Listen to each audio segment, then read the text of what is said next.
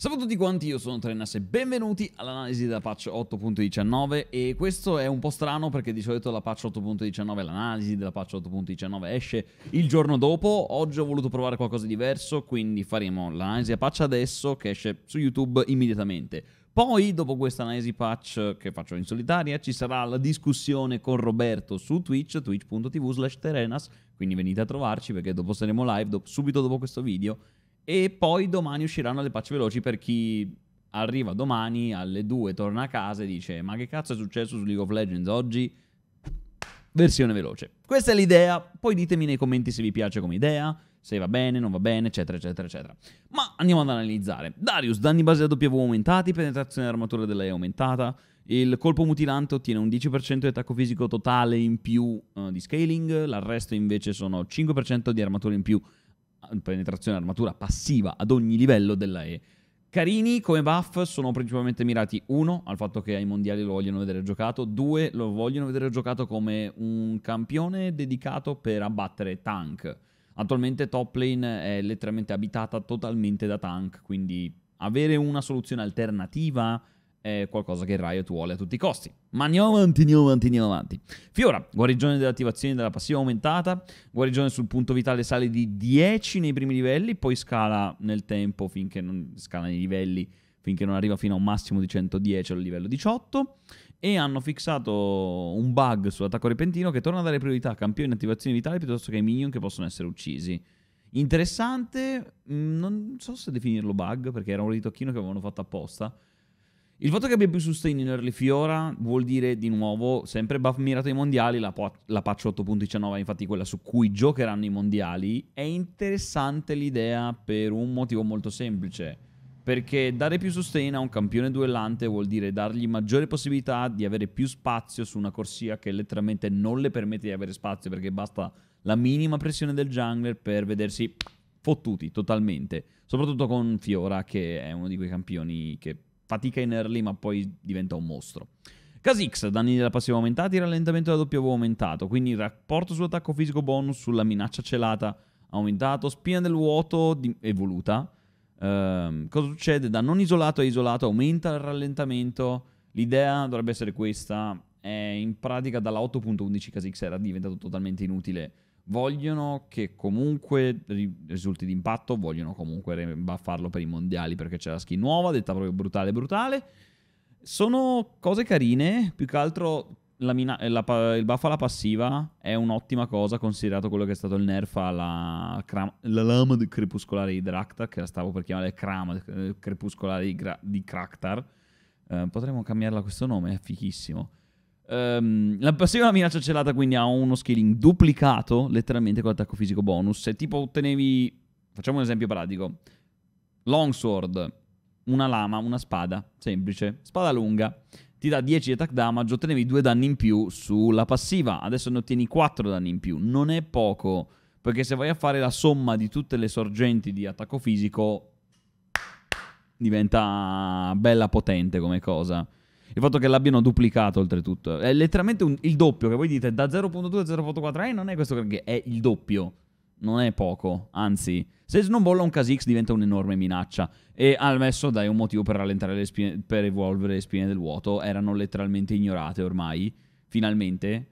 Il rallentamento era l'unica cosa che effettivamente traevi in più dal fatto di evolvere le spine del vuoto. Adesso almeno le userai, in teoria.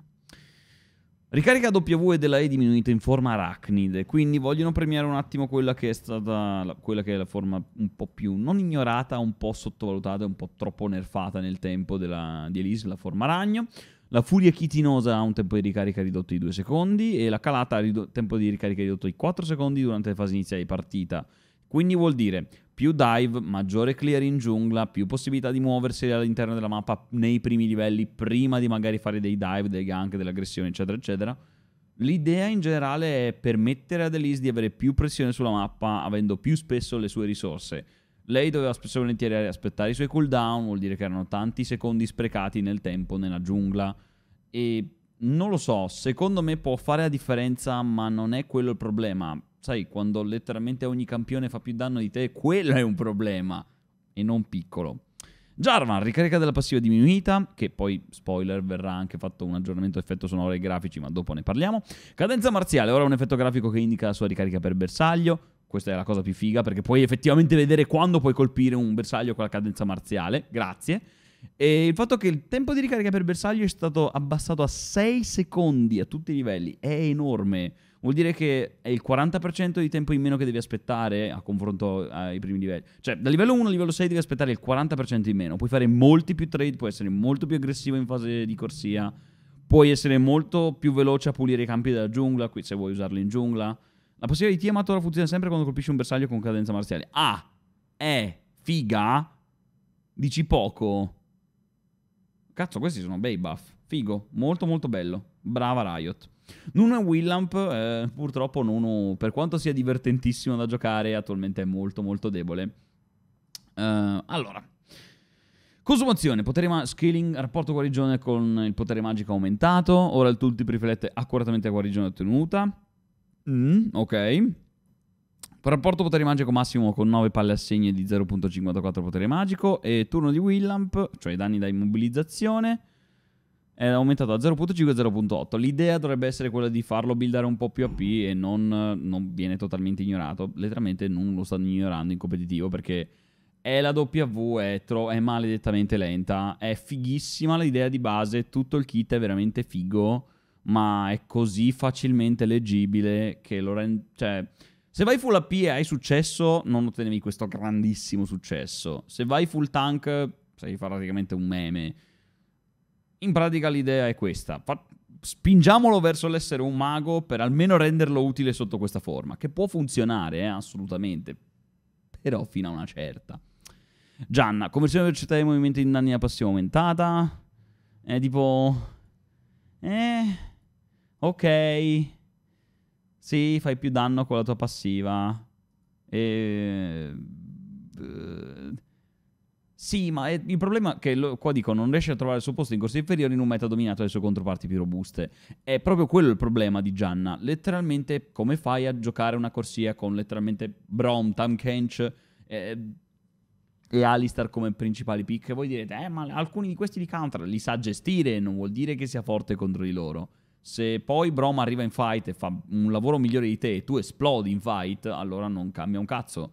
Devi avere impatto durante la fase di corsia con Gian, un minimo, un minimo, perché almeno rallenti i tempi di corsia dell'avversario, rallenti quindi i tempi di build, rallenti i tempi della di carry avversario. Cioè, una delle utilità di Gian non è soltanto quella di essere quel campione fantastico da teamfight che è un disruptor, che col tornado, il monsone, gli scudi riesce a mitigare molte delle possibilità di ingaggio o delle possibilità di trovare successo in una kill.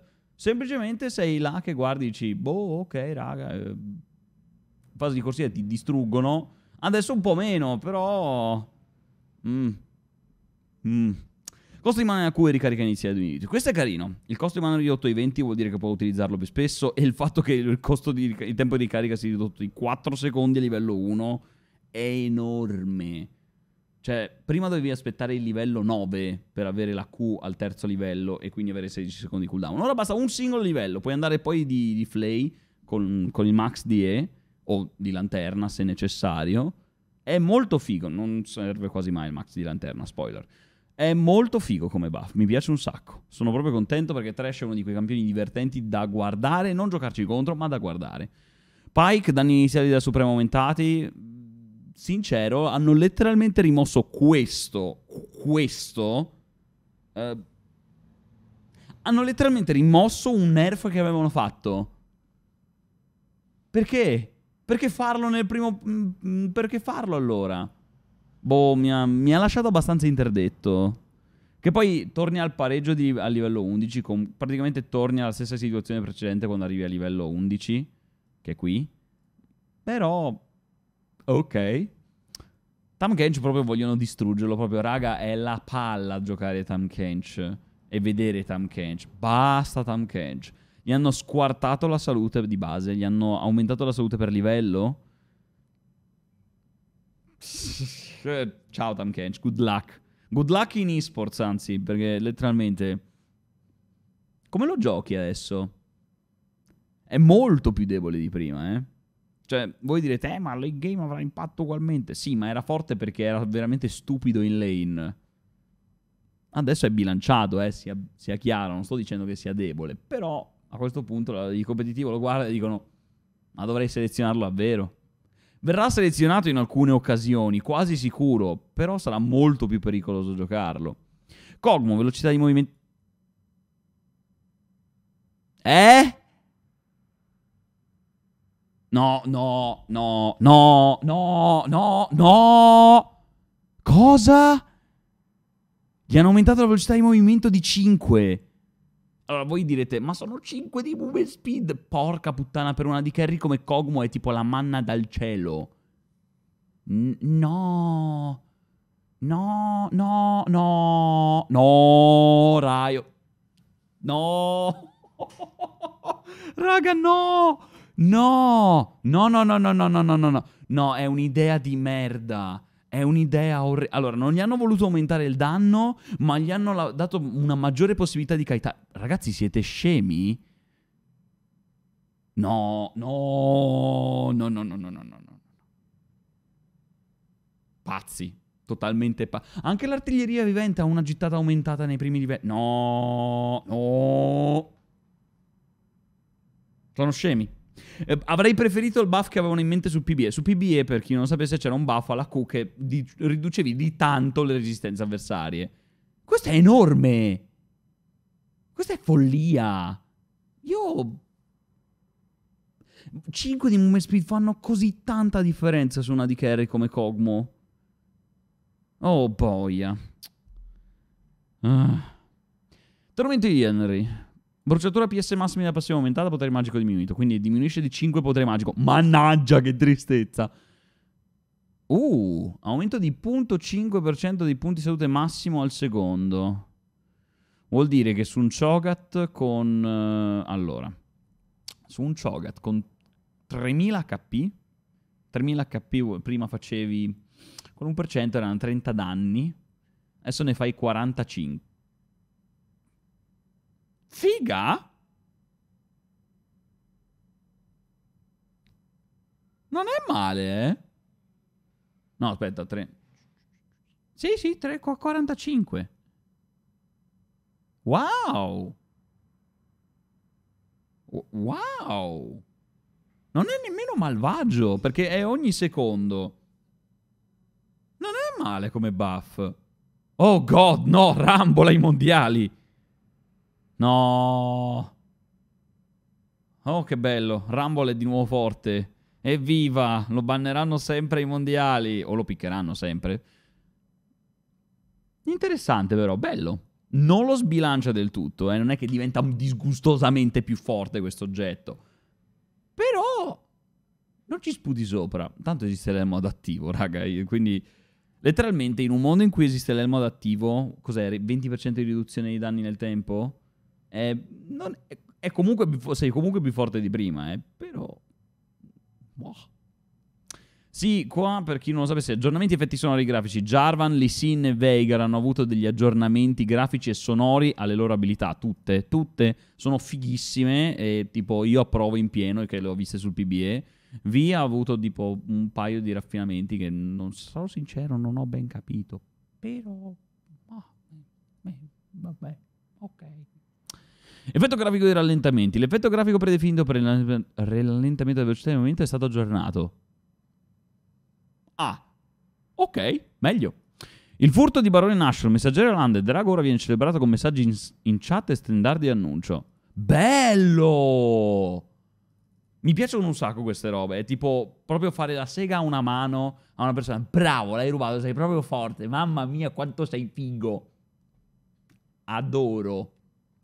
Pagina di profilo, in preparazione modifica le classificate 2019 al ritorno di Clash. Spoiler, sta funzionando. Hanno, provato, hanno fatto 5 test sul PBE per essere sicuri che a, a, a, prova di casino, tanto succederà un casino ugualmente, almeno tutti pensano e sono convinto anch'io un po', perché sottovalutano sempre quanta gente gioca.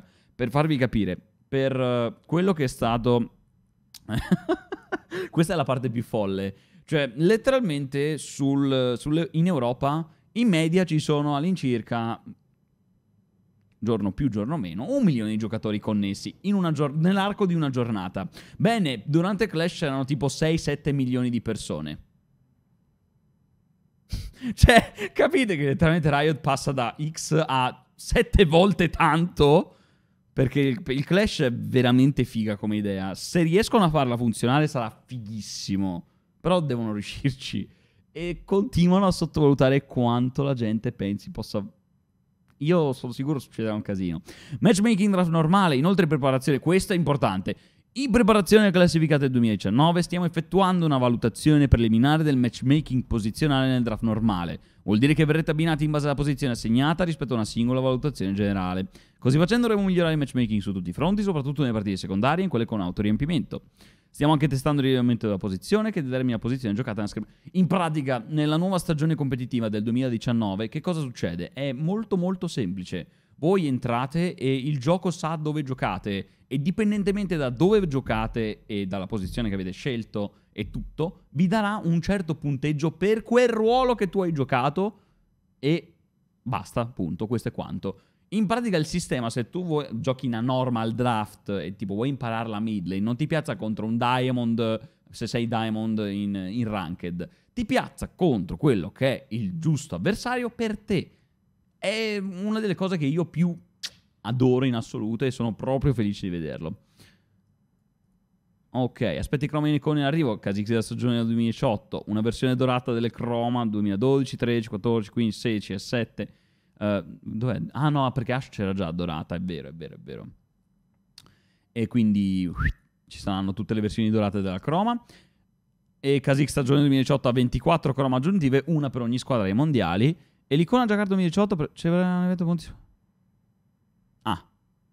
Ok.